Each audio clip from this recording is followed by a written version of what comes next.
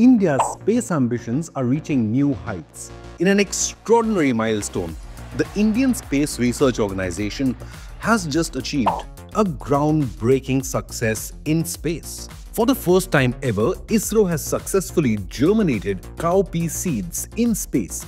Now, this was part of ISRO's CROPS experiment on board the PSLV C-60 mission.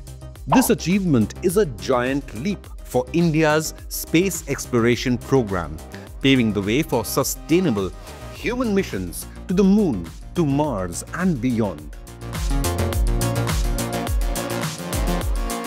On the 30th of December, ISRO's PSLV C-60 rocket successfully launched into space carrying not one, but two SpaDeX satellites into orbit. Among the cargo was the POEM-4 platform housing 24 onboard experiments, one of which was the pioneering CROPS or Compact Research Module for Orbital Plant Studies experiment. Now this is part of ISRO's larger effort to grow plants in microgravity which is essential for future long-duration space missions. For the first time, ISRO attempted to grow plants in space under controlled conditions using an automated platform designed specially for this purpose. Now the experiment involved growing of 8 cowpea seeds, commonly known as lobia in India, in space. And guess what? Within just 4 days, these seeds began to sprout out of the eight seeds, at least three successfully developed leaves. Now, this is a huge accomplishment for ISRO, an Indian space program, as it proves that plants can indeed grow in the harsh conditions of space. But why is this so important? The ability to grow plants in space is absolutely crucial for future manned missions, especially those targeting long-duration trips like the ones to Moon or especially the Mars. Plants provide astronauts with vital oxygen, help remove carbon dioxide from the environment and can even be used as a food source, which is vital for food security on long space missions. Plants also contribute to the psychological well-being of astronauts as well. Having plants around can provide a refreshing atmosphere, improve mood, and combat the effects of isolation in space. ISRO's successful experiment with the cowpea seeds is a testament to India's technological capabilities in space domain.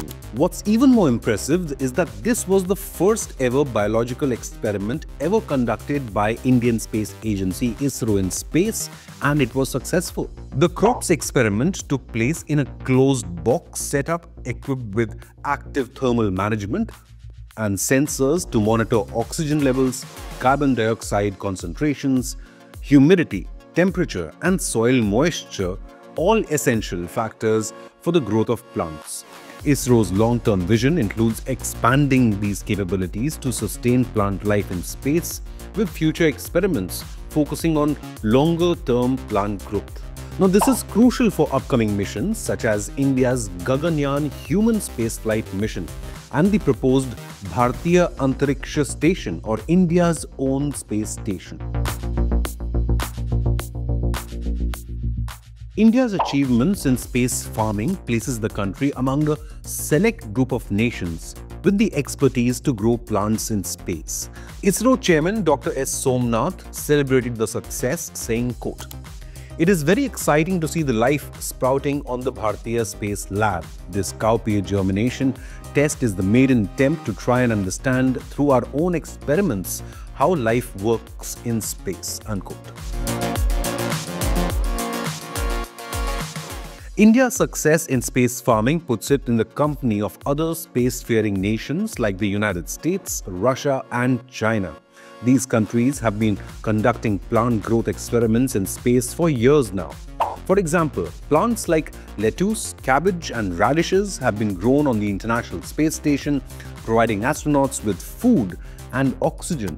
ISRO's achievements now adds India into this exclusive group of nations, marking a major milestone in the country's space journey. The Indian Space Agency recently launched its space docking experiment as well, which could potentially pave the way for future manned lunar missions beyond Chandrayaan 4. If that's successful, then India will again join the likes of Russia, the US and China, the only countries that have mastered this space docking technology so far. In fact, this autonomous docking capability is expected to play a key role in human missions to the moon, Mars and beyond. Prime Minister Narendra Modi has set a clear vision for India to become a global space power. The country has already made significant strides with Chandrayaan 3, making India the first country ever to reach the lunar south pole where water is expected to be abundant. Up next are the Gaganyaan missions, which will see India sending astronauts into orbit this year itself in 2025. ISRO is also one of the few agencies to have probes around all three the Sun, the Moon, and even Mars. So, are you proud of India's space achievements? Leave a comment with your opinion, hit the like button, and subscribe to InConnect News.